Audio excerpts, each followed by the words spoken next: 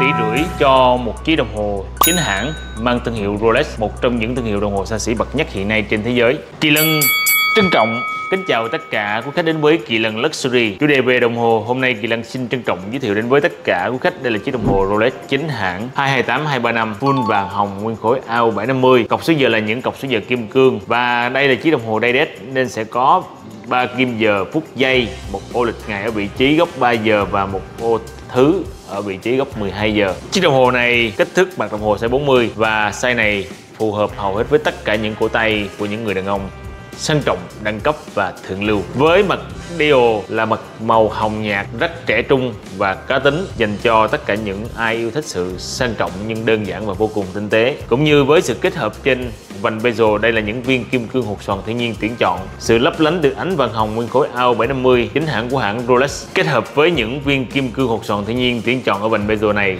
thì đây là một chiếc đồng hồ vừa sang vừa lấp lánh mà vừa rất là đẹp. Một chiếc đồng hồ kết hợp giữa vàng nguyên khối AO750 và cọc số giờ là kim cương Berget và những kim cương hột xoàn thiên nhiên tiến chọn trên vành bezel sửa ánh bóng từ vàng hồng nguyên khối sự lấp lánh từ những viên kim cương tuyển chọn chính hãng của hãng Rolex. Đây là một chiếc đồng hồ đủ đẳng cấp, đủ sang trọng, đủ thượng lưu mà khiến tất cả chúng ta đều thích và sở hữu chiếc đồng hồ này. Một chiếc đồng hồ đã sang trọng, đã đẳng cấp từ chính hãng của Rolex, một trong những thương hiệu đồng hồ xa xỉ bậc nhất hiện nay về sự nổi tiếng về đồ cao cấp xa xỉ. Khi kết hợp với một chiếc nhẫn được kỳ lân chế tác thì một bộ đôi này sẽ trở nên rất hoàn hảo. Hoặc là mình có thể kết hợp với một chiếc nhẫn Rolex thì một bộ đôi vô cùng hoàn hảo. Nếu như mà mình đeo một chiếc đồng hồ Rolex full vàng hồng chiếc Daydet size 40 này thì Kỳ Lan sẽ làm chiếc nhẫn Rolex này đúng full vàng hồng luôn để cho đồng nhất với chiếc đồng hồ chúng ta đang đeo. Hiện tại thì tay của Kỳ Lan đang đeo chiếc đồng hồ Rolex Daydet size 40 này rất là hài hòa hợp luôn.